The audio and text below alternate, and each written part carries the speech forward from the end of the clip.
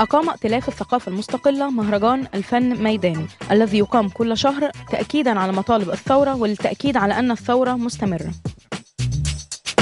إحنا أول مرة نشارك في فن ميدان وعرفناه عن طريق ال- الأصدقاء يعني وتواصلهم على الفيسبوك وبدأنا معاهم إن إحنا نشارك ونفاعل وحسينا بقيمة الوضع في بعد الثورة.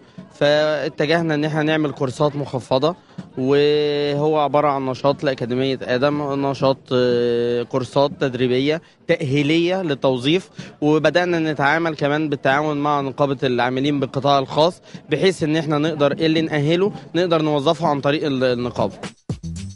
كان من ضمن فعاليات المهرجان جدارية عن ثورة 25 يناير ومعارض فنية وفرق غنائية. كل فنان آه، يحب يشارك في الجدارية يتفضل يشارك.